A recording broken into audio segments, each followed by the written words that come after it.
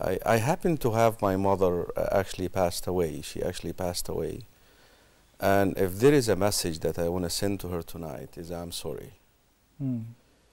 You know, it's it's it's really sad, but I'm really sorry because I have not given you your rights. Um, somehow, somewhat, we were brought up in a in a environment where we lack the knowledge of the Deen and the knowledge of the rights uh, of certain individuals among us, Mm. and we start copying, um, you know, what we see in the society. Uh, your older brothers, your older sisters, how they treat your mom or your uncles and, and, and, and so forth, family members, without knowing the weight of the mother in Islam. Mm. And after you explore that text, uh, the Quran and the Sunnah is filled, filled with verses and uh, statements of the Prophet sallallahu alaihi wasallam Sallallahu alaihi wasallam.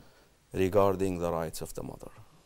And upon, you know, reading this, um, and I'm addressing the brothers and the sisters who, who still have their parents alive.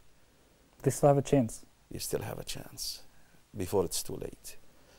But the message that I really would like to send to my mother tonight is I'm sorry, you know, I wasn't uh, aware of. Uh, uh, my hope is really on on on وما كنا معذبين حتى نبعث رسولا is is the Mm. lack of knowledge. Um, and that's where عبودية الرجاء, yeah, that hoping in the mercy of Allah subhanahu wa ta'ala would save me. But if, if you really judge your behavior and your attitude towards your parents in general, towards your mother in particular, and, and you measure that according to the text in the Quran and the Sunnah, you're a loser.